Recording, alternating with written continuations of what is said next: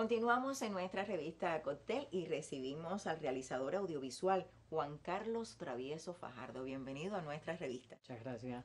Bueno, ya habías estado emisiones anteriores en el mes de julio aquí en nuestro programa precisamente para divulgar sobre aquella feria de los adolescentes que por vez primera se iba a desarrollar en nuestra provincia, en la capital de la provincia, y que tenía muchísimas expectativas porque era todo un día de actividades que concluía con un concierto de Raúl Paz. Y, y, así fue. Y así fue, así lo prometido es deuda y así mismo, se cumplió, se cumplió. Se cumplió y todo el mundo quedó muy satisfecho con, con esa actividad a propósito del verano, por el Día Mundial de la Población. Y de esta idea sale este programa Feria de los Adolescentes. Sí, a ver. Eh, ¿Cómo se convierte de una actividad en un programa de televisión? Un saludo para toda la audiencia. Y sí, efectivamente, lo primero fue que proyectamos aquella actividad que, como te decía, tenía una finalidad que era cubrir un espacio que necesitaban los adolescentes para tener eh, eh, justamente donde compartir, vivir otras experiencias, sacarlos, extraerlos de sus problemas cotidianos y, que sintieran eh, un espacio de libertad, un espacio de creación, un espacio también que interactuaran, hablaran de sus dudas, de, sus eh, dificultades en la vida y cómo afrontarlas, cómo eh, aprender a, resolverlas, ¿no? a solucionarlas, que al final es lo que tenemos que ir aprendiendo en el camino. Y eh, finalmente fue, se hizo la feria el día 7 de julio, a propósito del Día Mundial de la Población, como tú decías, y con el apoyo del Centro de Estudios sobre la Juventud, con un apoyo así de, a, todo tren de la Dirección de Cultura de aquí de San José de las Lajas y de la provincia de Mayabeque, también de la Dirección Municipal de la Unión de Jóvenes Comunistas, eso hay que decirlo, la UJC, Cultura, hicieron suya esa misión, el gobierno de aquí de San José, que apoyaron la idea y gracias al trabajo de todos fue que logró eh, el resultado. Eh, eso quedó ahí con un sabor rico eh, de algo bonito que se hizo, que ojalá podamos seguirlo haciendo, ojalá pueda mantenerse en el tiempo. Sabemos que no todas las semanas, ni mucho menos, ojalá fuera, porque yo, yo creo que depende mucho de la voluntad. Y la voluntad ahí está, se, se vio que se podía hacer, se demostró que no era tan difícil organizar un evento para los muchachos y, que, y la acogida que tuvo. Es decir, lo importante es que ese día el cine teatro Lajero, las calles de ahí circundantes al cine, estaban desbordadas de muchachos. Y así estuvieron desde por la mañana hasta casi eh, la noche.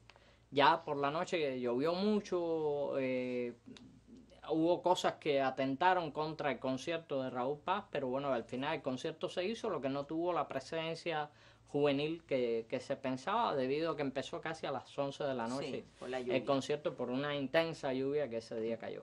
Pero no obstante fue el colofón de un día arduo, eh, los muchachos de calendario que estuvieron aquí, el diálogo ese abierto, franco, donde los muchachos a través de WhatsApp mandaban preguntas y se le hacía a los actores de calendario. Y esa interacción eh, no se había vivido antes en San José y la emoción que tenían los muchachos, pues eh, lo, lo, decía todo, ¿no? Lo desbordaba todo. Y además de eso, el trabajo que desarrollaron aquí los psicólogos, los especialistas también, trabajando en pequeños grupos con eh, muchachos que, que se prestaron para esos ejercicios y que hablaban de temas tan importantes como la sexualidad, como el embarazo en la adolescencia, como la familia, como la relación con los profesores, es decir, tantas cosas eh, y muchas quedaron pendientes también. Hay que, eso no es un trabajo de un día hablarlo y ya, sino que lleva un trabajo eh, permanente. Hay disposición, voluntad del Centro de Estudios para la Juventud o sobre la Juventud para continuar trabajando aquí, desarrollando todo eso, pero eh, realmente nos hace falta encaminar, ¿no? Y, y seguir sumando voluntades y seguir sumando esfuerzos y disposiciones locales para, para habilitarlo. Y lo principal que es las instituciones las tenemos, así que lo que hace falta es voluntad sobre eso para, en medio de las carencias y las dificultades, echar adelante un proyecto así que los muchachos agradecen mucho. Lo agradecen mucho y la familia también lo agradece. Y como tú decías, de ahí surge, es decir, a partir del éxito que tuvo el espacio, y de la necesidad que veíamos que, tenían los muchachos para hablar de sus problemas y de sus cosas, pues surgió la idea de hacer, la propuesta de Telemayabeque de hacer un programa que, que, bueno, que diera continuidad a eso. Y, y decidimos entonces que se llamara así, Feria de los Adolescentes, y lo estamos produciendo con muy pocos recursos, lo estamos produciendo prácticamente en casa, pero con la participación directa de los mismos adolescentes, definiendo de qué temas hablamos, eh, definiendo también cómo se hace, incluso ellos haciendo detrás de cámara, delante de cámara, es decir, es un espacio en el que eh, nosotros simplemente servimos de, de, claro, e ir preparando el, el relevo y el relevo está ahí y lo van a conocer nos van a quitar a nosotros, nos van a quitar, se van a ganar el espacio de ellos. Y entonces yo creo que eso es lo, lo importante, que ellos aprendan claro. cosas que, que para el futuro son herramientas de comunicación porque ellos tú podrás comunicar y yo podré comunicar, pero estamos comunicando con una generación. Ellos tienen la misión de empezar a comunicar con su propia generación. Y después vendrán otros que tendrán que prepararse y formarse a partir del conocimiento de ellos para, para conectar con las generaciones que vienen después. Es, es, la ley de la vida. Y entonces simplemente lo que tenemos que darle las herramientas, darle el espacio para que ellos puedan hacer divertirse, porque sobre todo tiene que ser un espacio de diversión. ¿Cuánto tiempo durará? Eh, el, este programa dura, el programa dura 12 minutos 12 minutos. Hoy lo van a poder disfrutar, terminando la revista, empieza o sea, eh, la 5 feria. Y 30 5 y 30 cóctel y a las 5 y 30 empieza, empieza la el feria, programa de, los feria de los adolescentes. Y dura 12 minutos por ahora. Tenemos cuatro programas ya hechos. Es una decisión del canal de si después de esos cuatro programas seguimos eh, haciéndolo o no, o si esperamos una temporada más adelante, a lo mejor para diciembre, no sabemos. Por ahora hay cuatro programas que están ya casi listos para salir, así que eh, a conocer a los protagonistas en ¿Cómo, ¿Cómo se hizo la selección de los niños, de los adolescentes? Mira, eh, hay que decir que, que la mayoría de ellos, si no me equivoco, la mayoría, no puedo generalizar, pero la mayoría eh, son de la escuela Víctor Mestre. Y ahí tuvieron el trabajo de una instructora de arte que debe estar viendo el programa, que se llama Maideli Gómez, que, sabemos que es la instructora de arte con un trabajo más eh, constante en la provincia de Mayabeque y ha sido reconocida por eso.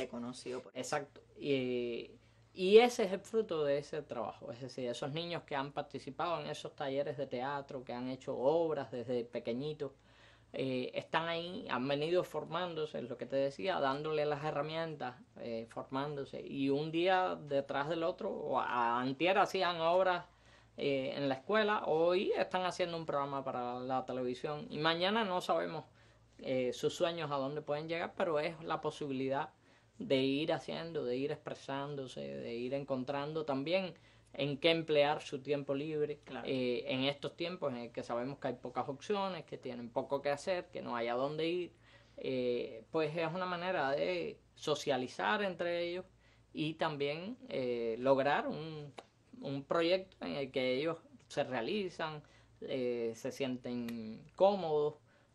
¿Cuántos niños de eso hablarán en el programa? ¿Cuántos niños? Bueno, eh, a ver, salía, ¿qué, ¿qué, pasa? El proyecto surge también como una iniciativa de Aventuras Baobá, que ya de eso hemos hablado mm. aquí, es la productora audiovisual que hace Lucía, mi, mi hija, que lidera a Lucía, y que ella a la vez aglutina un grupo de niños que han venido haciendo cortometrajes, documentales, que tienen que ver con los temas de la infancia y la familia. Eh, y a partir de todo ese trabajo y de esos mismos niños que se han ido vinculando al proyecto, pues empezamos. Ellos sobre todo están en la parte técnica, eh, uno con el micrófono, otro apoyando la cámara, eh, Lucía me ayuda con los guiones, ahora se va a incorporar una muchachita que se llama Sabrina, que es del preuniversitario, que va a trabajar también conmigo en los guiones. Eh, y así, es un trabajo en el que cada uno empieza a jugar un rol distinto y mañana pueden intercambiar esos roles. Y entonces hay otros muchachos a los que hemos sometido a casting y les pedimos hacer una prueba de cámara y a partir de esa prueba de cámara pues escogimos quién iba a conducir el programa, quiénes hacen secciones y así han salido las sorpresas qué, interesante, Qué, qué bonito, ¿eh? que que, que, jueguen adultos esas cosas que hacemos nosotros y que nos resultan cotidianas, pues verlos hacerlo, que, que, lo hacen ellos. Eso es lo más interesante. Y que lo hacen muy bien porque se, se en lo la próxima grabación voy a estar allí contigo para ver cómo es que lo hacen los niños, ¿verdad? Cuán interesante es que lo hagan los niños eso que nosotros hacemos y que tenemos que asumir como una responsabilidad porque es nuestro trabajo y tenemos una responsabilidad con el televidente, pues que el niño que para él se está divirtiendo, está ocupando su tiempo libre, pero también tiene una responsabilidad de hacerlo bien porque hay un televidente, adolescente, joven, que lo está viendo. Yo creo que es lo que te decía, sobre todo es el, el sentido de que están comunicando con sus amigos y ninguno de ellos quiere quedar mal con sus amigos. Eh, entonces, ese, ese proceso de liderazgo también desde los medios, desde las redes sociales, porque no es un programa que solo se va a ver en la televisión y ya, sino que va traspasar, se va a llevar a las redes sociales, va a estar en un canal de YouTube, hemos creado canales en Telegram, hemos creado perfiles en Instagram, eh, tenemos un grupo de WhatsApp que estamos alimentando, que lo que queremos es que todos los adolescentes, amigos de ellos o no, eh, empiecen a sumarse, que incluso los que tengan vocación artística empiecen a contactarnos también, porque es la manera de reflejar lo que ellos hacen, de hablar del trabajo que hacen en sus comunidades, de hablar de sus experiencias. Eh, estoy pensando incluso más allá de San José, en Guinness, los de la Casa de la Décima, en, otros lugares de, de, la provincia. Sabemos que hay trabajos en comunidades, cosas muy interesantes eh, que tienen que ver con el, cuidado de la naturaleza, que tienen que ver con muchas cosas. Eh, entonces todo eso de alguna manera puede alimentar este espacio y que no solo los de Aventura Bajo Bajo San José se vean reflejados en el proyecto, sino que pueda abarcar la provincia como, como es un canal provincial. Y para aquellos que no viven en la capital de la provincia y no tuvieron la oportunidad de disfrutar de la Feria de los Adolescentes, pues que ahora a manera de programa puedan disfrutar de esta feria y de temas que son de su interés. Que incluso este primer programa que va a salir hoy es justamente un resumen de lo que pasó el día 7 en el Cine Lajero y van a ver ahí a los actores de calendario y van a ver todo el intercambio, las fotos que se hicieron con los muchachos, la comparsa de Víctor Mestre, es decir, de, todo eso está ahí en el programa, incluso la música de Raúl Paz. Todo eso está en este primer programa pues a eh, disfrutar en, a, las 5 y 30, a disfrutar del programa Feria de los Adolescentes. Hoy es su primera emisión, ya he grabado cuatro hasta este minuto y por supuesto larga vida porque el adolescente lo necesita. Muchísimas gracias al realizador audiovisual Juan Carlos Travieso, director de este programa Feria de los Adolescentes. No te despido porque... Co-director, porque ah, somos Lucía y yo en roles de dirección. Ya, ya Lucy me había dicho que... Ese cargo no podía quedármelo no, yo solo. No, eh, ella me lo dijo, yo le dije, ¿qué cargo tienes? Me dijo, co-directora. y con ella vamos a hablar más adelante. No te despido porque sé que también serás parte de este diálogo cuando ahorita los muchachos que están aquí en el estudio pues tengan la posibilidad de hablar de su experiencia en la grabación de este programa que por vez primera inicia hoy aquí en nuestro canal. Muchísimas gracias. Gracias. Que siga con nosotros. Contaminación acústica. Contaminación acústica se llama el exceso de sonido que altera las condiciones normales del ambiente y causa grandes daños en la calidad de vida de las personas si no se controla adecuadamente. El nivel de ruido en su entorno es perjudicial para la salud de todos.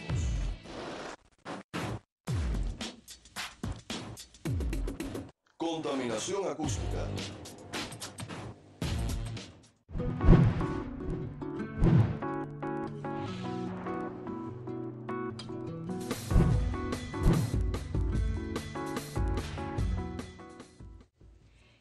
Anunciaba ahorita, pues ya tengo aquí algunos de los, bueno, del equipo de realización, es así como hay que decirle, el equipo de realización o parte del equipo de realización del programa Feria de los Adolescentes, un programa que como decíamos se estrena precisamente hoy en nuestro canal Tele Mayabeque, aunque también lo tendremos en las redes sociales. Vamos a presentar a este equipo de realización, ya tengo aquí a Dacheli Castellanos Meléndez, que iniciará en septiembre en décimo grado en el Instituto Preuniversitario Raquel Pérez González. Es la locutora del programa. Tenemos también a Lucía Travieso Herrera, que inicia octavo grado en Antonio José Oviedo, codirectora de este programa Feria de los Adolescentes.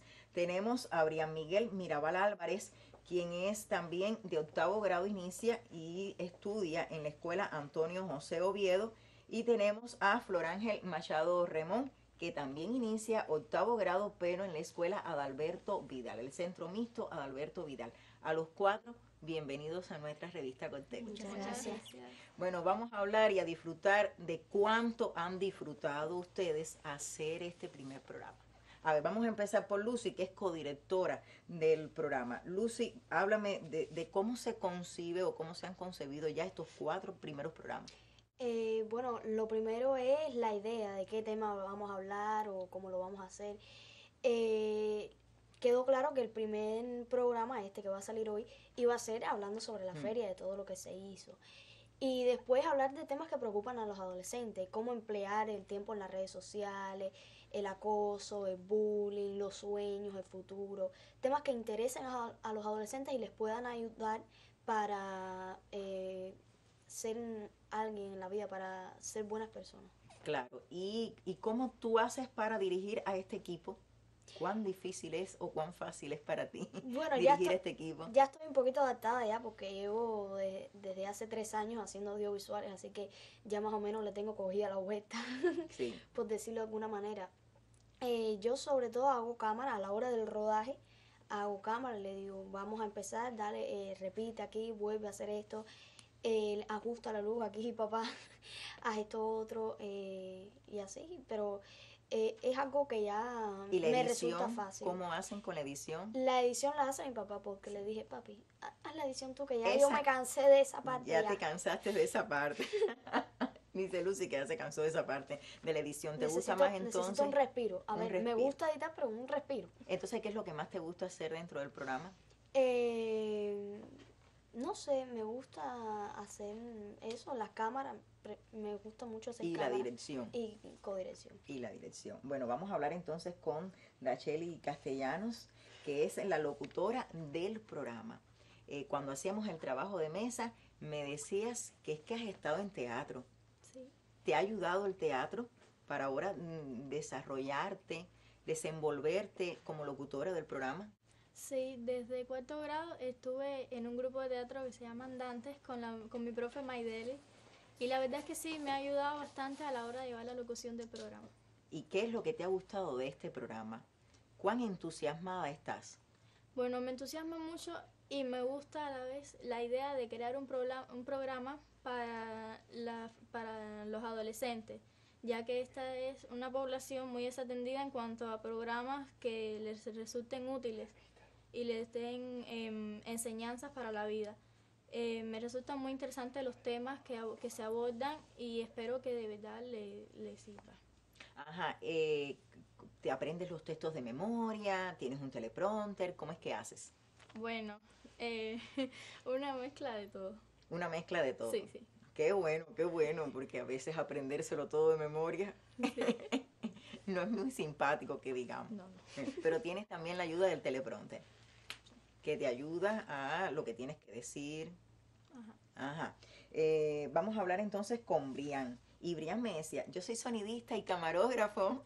A ver, camarógrafo Te vamos a traer para aquí de sonidista también. ¿Cómo no? Ah, entonces, a veces de camarógrafo. Sí. Sí, haces el sonido y haces la cámara. ¿Y dónde has aprendido a hacer cámara? Bueno, eh, la cámara la aprendí a hacer de Lucía y de Juan Carlos. Y de Juan Carlos, fueron los profes. Me acuerdo que la primera vez que cogí una cámara fue el día de mi cumpleaños, que hicimos una fiestecita. Y yo, y tiré fotos. nos tiró fotos, porque mi papá hizo fotos, yo con todo el mundo. Y a la hora de hacerme yo una foto con mi papá y con mi mamá, le fuimos para Brian Eres, es necesario que tú seas la foto. Esto no es un selfie, hace falta que tú la tires.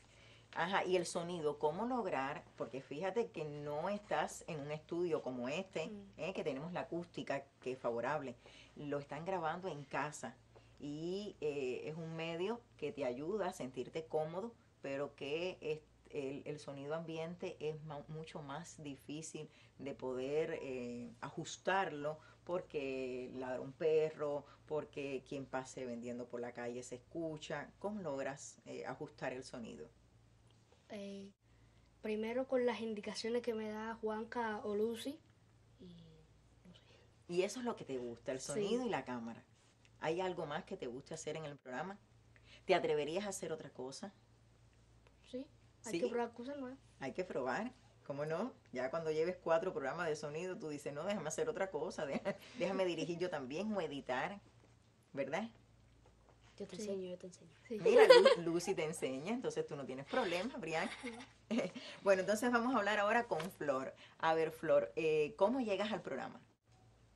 A ver, llego al programa convencida de que lo voy a hacer todo bien y que no importa cuántas veces me equivoque, voy a empezar de cero porque lo que no puedo hacer es quedar mal con los que me están mirando. Tengo que dar lo mejor de mí y tengo que esforzarme al máximo. Aparte de que es, un progra- es una sección para curiosidades, curiosidades que tienen que ver con el programa en una sección. Y dentro de esas curiosidades uno le tiene que dar ese misterio para que el adolescente Enganchar al adolescente, engancharlo. prenderlo con Sí. esa sección de curiosidades. Y también dejarle la enseñanza de que esas curiosidades pueden servirle para su vida diaria. Ya has grabado dos secciones. Grabaste dos secciones. O sea, eh, las secciones empezarán también a partir de hoy o más adelante. No, empezarán eh, a partir del 22 de este mes. Ajá, sería como el, el tercer tercer, el programa. tercer programa, a partir del tercer programa. O sea, hoy no tenemos la sección de curiosidad, es a partir del tercer programa. Y llegas a este equipo de realización a través de un casting o también estuviste en grupo de teatro A través de un casting. a través de un casting. ¿Y te pusiste nerviosa para hacerlo? Sí. Siem- siempre. Porque nunca he hecho televisión en mi vida. ¿Cuánto ese taller que tú y Lucy han pasado, pasaron y que están pasando de nuevo, que es el taller de verano reportero estudiantil, cuánto te ha ayudado para poder hacer este trabajo que estás haciendo ahora? Teniendo Sí. en cuenta de que conduces secciones también en un programa de adolescente de la radio. Uno primero tiene que enfocarse de que radio no es lo mismo que televisión. Televisión tiene, al- tiene la imagen, la radio no. La radio con solo la voz uno puede dar todos los sentimientos al oyente que quiera ofrecerle. En este caso, el taller reportero estudiantil recibimos clases de historia de la radio, una mini introducción, cuándo fue fundada la radio, su fundador, su papel en la historia. Pero esa locución que aprendiste en ese taller sí te, sir- te ha servido para ahora poder hacerlo. cómo manejar la voz, porque dentro de la radio la voz es un instrumento. Y también conocer sobre los géneros periodísticos como es el documental. Y ahora esto te va a servir, por supuesto, para poder hacer este programa de feria de los adolescentes. ¿Expectativas que tienen ustedes con este programa? Eh, bueno, espero que a los adolescentes les guste, que se identifiquen con, con algunos temas y que nos llamen y que nos digan, no, mira, me gustó esto, pero esto lo puedes cambiar, lo puedes mejorar, puedes hacer esto otro. Eh, me gustaría que pasara eso. O sea, es importante mantener ese contacto, esa comunicación con el destinatario de este programa Sí. para retroalimentarse. ¿Me decías? Eh, eh, también sería eh, muy importante que reciban el mensaje de lo que le queremos transmitir en cada uno de los programas y que lo puedan utilizar para la vida. Claro, que todo sea una enseñanza, una Exacto. enseñanza para bien. ¿Expectativas? A ver, como ya iban diciendo, es bueno de que sea una enseñanza porque después de todo es, ese programa va dirigido directamente hacia el público adolescente. Y no sería muy bueno de que el tema les parezca muy aburrido o simplemente el tema no les interese, no les llegue de la forma correcta, nos malinterpreten en algunos casos o simplemente apaguen el televisor en el peor de los casos. O sea, es importante entonces que lo ideal sea llegar a ese grupo etario al que ustedes mismos pertenecen. Me parece que el, gru- el tiempo que nos dieron para hacer el programa es el ideal, porque no es ni muy cortico para que se queden con ganas, ni muy largo para que se aburran, ni, ni apaguen el televisor, como estaba diciendo Flor. Exactamente. Expectativas, Brian, que tienes con este programa. Es que ya lo han dicho, no hay más que agregar. Sí hay que agregar qué expectativas tienes tú, pues en ser editor o trabajar en la televisión en el futuro. No sé. Sí, les gustaría. ¿Les gustaría trabajar en la televisión en el futuro? Bueno, yo creo que Lucy sí, porque ya Lucy tiene su canal de YouTube. No, No sé, eh, me gustaría más trabajar independiente, eh, haciendo mis propios audiovisuales. Trabajar, no sé, en un futuro para la unidad o para la HS. Bien, expectati- eh, mm, ¿te interesaría? Ya hablé de las expectativas, ¿te interesaría trabajar en, en la televisión? Bueno, tengo otros proyectos para mi vida, pero no me gustaría dejar a un lado el arte ni, ni nada de eso. Bueno, me gustaría entonces que Juanca viniera para que nos, nos comentara eh, cosas simpáticas, graciosas que tal vez eh, han vivido en la grabación. Esa parte de la, lo que usted, Flor, dale un ladito a Juanca. Aquí, Esa parte de lo que usted no vio y no verá tampoco. Bueno, hoy, hoy eh, de los días de grabación que hemos tenido, hoy yo creo que ha sido el, el más difícil de todos, porque a la hora que Flor iba a grabar, que es a ella quien le correspondía grabar hoy su sección, eh, los vecinos gritaban, los perros ladraban, había uno martillando, pasaba una moto, pasaba un carro, y eh, tenía que volver a grabar, y vuelve a grabar, y vuelve a grabar, pero eso es lo bonito del Claro, y proceso. mira, y que el vecino no sabe que hay un estudio de grabación no, ahí no, en es el que- barrio. Es que, me, a ver, mi- el, el estudio está complicado, no es como este. Eh, Eh. Mi casa está en construcción y por lo tanto grabamos el programa en medio de los escombros de, de la construcción. Es decir, el que vea el programa dentro de un ratico no, no se puede imaginar que está grabado. eh, eh, la cámara a veces puesta arriba de un bulto de arena que hay ahí acumulada. Eh, el Dacheli parada encima de dos bloques. eh, entonces, esas son las cosas bonitas que tiene la magia de la televisión, ¿no? Que cuando tú ves cómo se hace, que es una locura, que es un desastre, y después puedes ver el producto que te enamora, que te complace, que te convence, que dices, qué bonito, y tú dices, ¿cómo es esto? Es una locura. Ah, yo estoy segura que aquí falta una persona y es Made. Claro. La mamá de Que Lucía ayuda y la esposa de muchísimo Juan en el Carlos. trabajo ella de tiene producción. una participación. Es que somos un equipo y hay otros, muchos más. Yo mencionaba a Maide, que no puede faltar, aunque no está en el equipo, pero aquí falta César, por Sí. ejemplo, que no está ¿Qué- César, participando ¿qué ahora. hace en el programa? Eh, eh, ¿Qué hace? Mantenernos entretenidos. Es el cómico. de- es el cómico del equipo, es Liberian. Eh, nada, yo creo que César a- a- ayuda muchísimo también en el tema de las cámaras, Claro. del sonido, eh, lo que está de vacaciones. Es decir, Sí. estamos haciendo esto también un proceso Sí. complejo donde cada uno de ellos Se tiene sus de proyectos y, para- y está sacando un espacio dentro de esa de ese tiempo libre para compartirlo. y- Claro, y qué lindo es trabajar para los adolescentes y con los adolescentes, porque en- eh, uno siente que, que vuelve a esa edad, ¿verdad? Uno siente que vuelve a esa edad. Así que larga vida para este programa Feria de los Adolescentes, que inicia precisamente hoy a las 5 y 30 de la tarde, aquí en TL Mayabeque. Muchísimas gracias. idea antes de terminar que todos los muchachos que quieran las familias que quieran que conectar a sus niños a sus adolescentes sobre todo no niños pequeños sino adolescentes en la edad comprendida entre los 12 y los 18 años pues eh, que nos busquen a través de las redes sociales solo no tenemos Facebook por ahora pero dentro de un ratico haremos la página de. Facebook pero ya estamos en Instagram, estamos en Telegram, estamos en WhatsApp, tenemos un grupo. Así que por cualquiera de esas vías Claro. que nos contacten, que se integren al equipo, que nos hagan propuestas de los temas, de lo que les guste ¿Y del programa, lo que, no. Exacto. En fin, Y muchísimas gracias a Dacheli, también a Lucía, a Brian, a Flor, a Juan Carlos, a Made, a César, a Maide, o Maidelis, no Maide, no está Maide, Maidelis, muchísimas gracias. Y vamos con un documental tuyo para ser estrella. Que Exacto. ahora de inmediato seguimos con este documental. Brevemente, ¿de qué trata? Bueno, es la historia. Vas a ver a Shelly pequeñita, vas a ver a Lucía mucho más chiquitica, porque es la historia de Maideli en su grupo de teatro. Justamente es un documental que yo hice ahí, una producción del ICAI, eh, en el que aparecen todas ellas cuando estaban en- armando una de las obras de teatro. Y ahí está la historia de Maide, que, que de alguna manera quedó recogida en ese documental de solo 10 minutos, pero que expresa Claro. el valor eh, tremendo que tiene el trabajo con niños y el trabajo eh, de un instructor de arte. Y ciertamente cómo el instructor de arte es capaz desde la escuela transformar el gusto estético de la comunidad y convertir a la escuela en un centro cultural. Ahí se va a Sí. ver en ese documento. Muchísimas gracias.